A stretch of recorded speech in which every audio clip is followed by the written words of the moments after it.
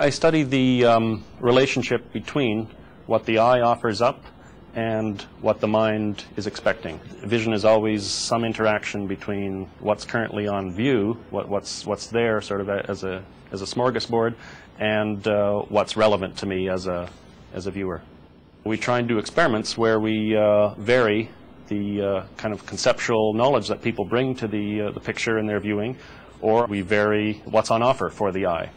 And uh, there are many sort of interesting visual illusions and, and effects that involve this interaction between what's on view and what I'm expecting to see. This is a, a test for something that's now become uh, known as change blindness. Subject would sit down in, in front of a computer and we'd tell them there's going to be something that uh, differs between these two pictures that are going to be flickering. Sometimes it takes them 15 to 20 seconds and then they uh, get this aha experience of, oh, there's that large hedge behind the, uh, the Sphinx's head that's coming into view and disappearing.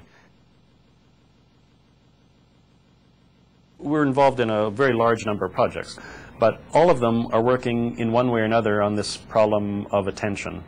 The, the, the problem is uh, of the visual information that's being presented to, to a viewer at any moment in time, uh, what's the basis for deciding which information to inspect, which information to give more scrutiny, which information to ignore.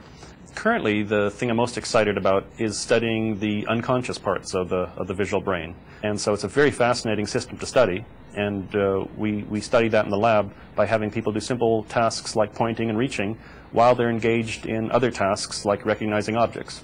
We often talk about that uh, sort of unconscious visual system loosely as the, as the zombie within to this one. The conscious system is so slow.